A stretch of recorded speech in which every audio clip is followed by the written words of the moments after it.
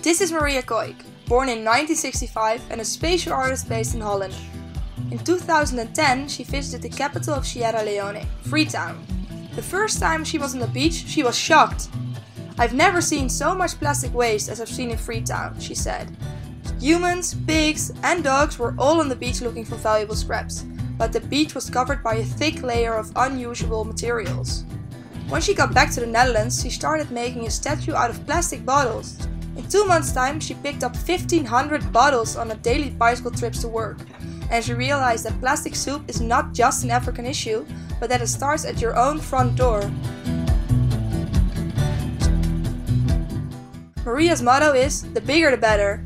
That is why she organizes big community art projects in the Netherlands, but also in other countries, to involve a great lot of people.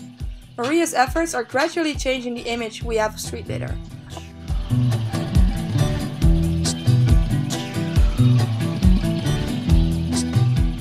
Are you willing to fight the degradation of the streets and decontamination of the earth?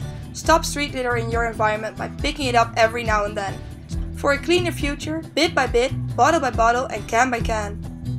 Because waste doesn't exist if you collect it, clean it, separate, and bring it to the right place.